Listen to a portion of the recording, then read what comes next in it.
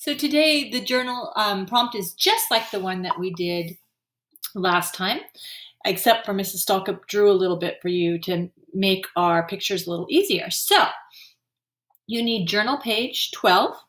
You'll need a cup, a die, and some counters. I'm going to use my linking cubes, and then you'll need things to write with, a pencil, maybe a crayon.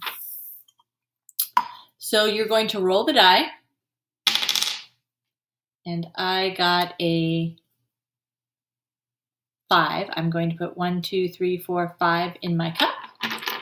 One, two, three, four, five. So I roll a die. I put that many objects in your cup. I've done that. Make another set with an equal number of objects. So if I have this many in my cup, five, I'm going to make another set with an equal number of objects down here.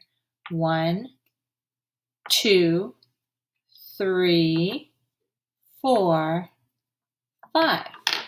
So these two numbers are equal. They don't really look equal because one's in a cup and one's out. But what if I put these guys out as well? One, two, three, four, five.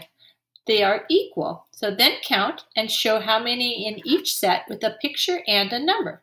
So I'm going to draw here. One, two, three, four, five, and I'll write the number five. Here it is up here if I forget what it looks like. A hat, a neck, and a nice round tummy.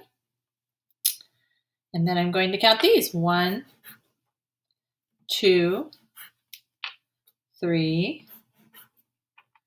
four, five, a hat, a neck, and a big round tummy. Now I could color to match my picture if I want. One, two, three, four, five.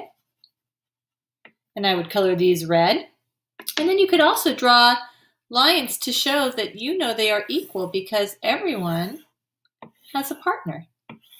Now, when you roll your die, you might not roll five, you might roll a different number.